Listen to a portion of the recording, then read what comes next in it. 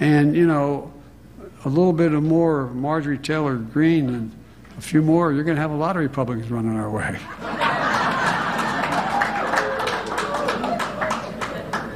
Isn't she amazing?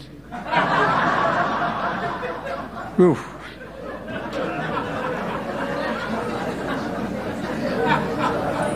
Ours, the reason she was she was very specific. I shouldn't digress, probably. But she, I've read.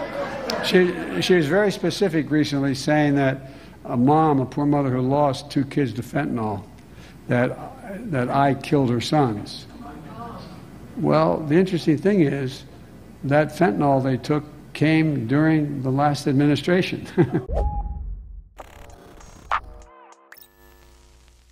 Apparently, Dark Brandon is back because, as you just saw, he decided to poke fun at Marjorie Taylor Greene for just being generally unhinged 99.9% of the time. And I think that he's expressing how all of us feel about her, particularly with this reaction. Oof.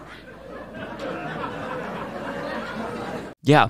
So even though I disagree with Joe Biden on many issues and think that he's far too conservative for the Democratic Party, as conservative as they are, generally speaking, it really is moments like that that make it obvious why he's more endearing to normies than other Democratic Party politicians who are just overly rehearsed and phony. Sometimes just having a human reaction to something and saying aloud what we're all thinking is actually good, believe it or not. But having said that, though, there is something in there that I wanted to address.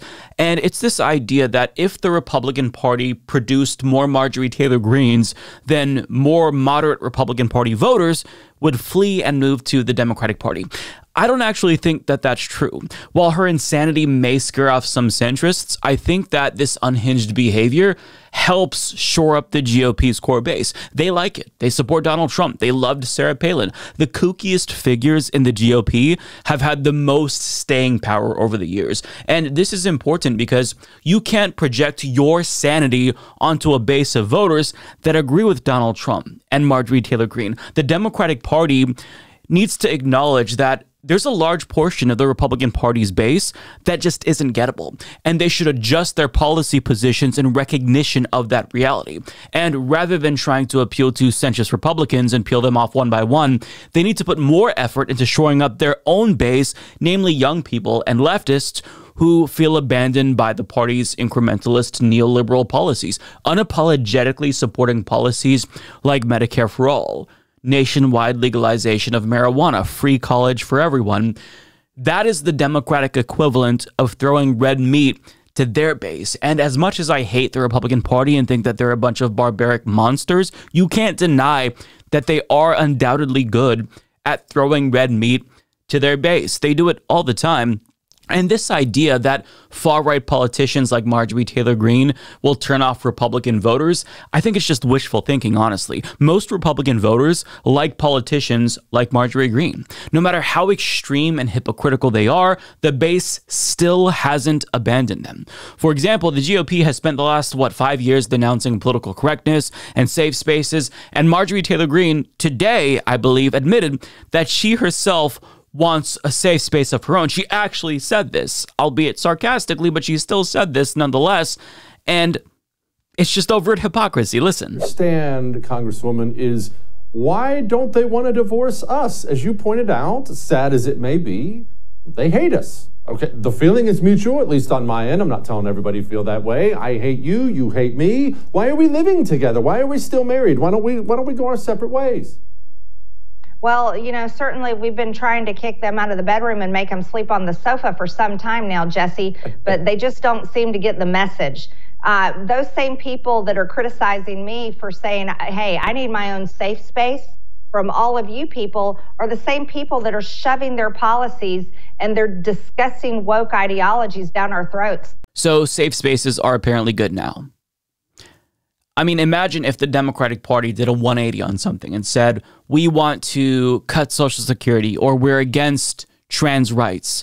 Most members of the base would see that and say, that's not acceptable. I don't like this. It's not a one to one comparison, but you understand that generally speaking, I think that sane and rational people see 180 degree turns like that, flip flops like that, and they think, wow, I don't like this But I mean, the Republican Party does this all the time. So no amount of hypocrisy or lack of consistency will turn off the GOP's base.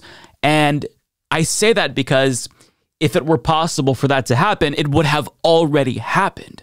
And understand how Marjorie Taylor Greene is ironically claiming that the left, they're shoving their woke ideologies down our throats while not acknowledging that she is a self proclaimed Christian nationalist. I mean, the core goal of Christian nationalism is to impose their will on everyone uh, in the country because they have divine authority from God to subject us to his laws.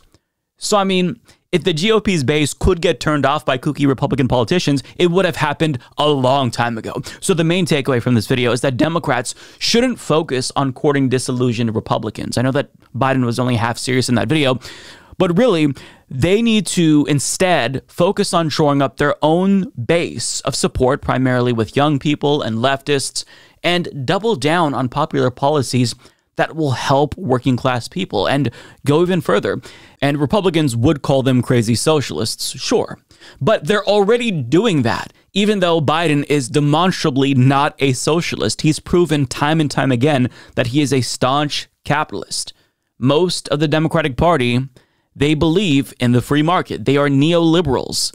So you should just do what your base wants and not think about the ways in which Republicans are going to criticize you because Republicans certainly never think about the ways in which they're going to come off to the Democratic Party's base. So the conclusion is we should continue to make fun of batshit insane Republicans, yes, but also learn from them strategically. Throw red meat to your base. Democrats be assertive, set the agenda, monopolize discourse, extract the crazy out of their strategy, and weaponize it against them.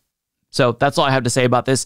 If you agree with me, hit that like button and let me know your thoughts down below. And be sure to subscribe if you want more content like this and help us reach our next milestone of 400,000 subscribers.